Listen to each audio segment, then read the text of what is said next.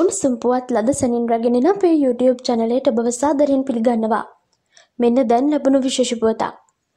Bus රථය නැති නිසා ලොරියක පාසල් ගිය සිසුන් 13ක් ලොරි තට්ටුව කඩා වැටි රෝහලට.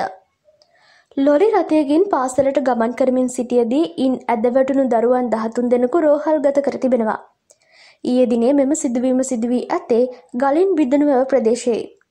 ගලින් බිදුණු වැව තක්ෂිලා මහාවිද්‍යාලයේ දරුවන් පිරිසක් මෙසේ ලොරි රථයකින් පාසල් ගොස් ඇත්තේ බස් රථය නොපැමිණීම නිසා. ලොරි රථයේ තට්ටුව අතරමඟදී කඩා වැටී ඇති අතර එහි සිටි සිසුන් 37 දෙනාගෙන් 13 දෙනෙකු තුවාල ලබා ඇත.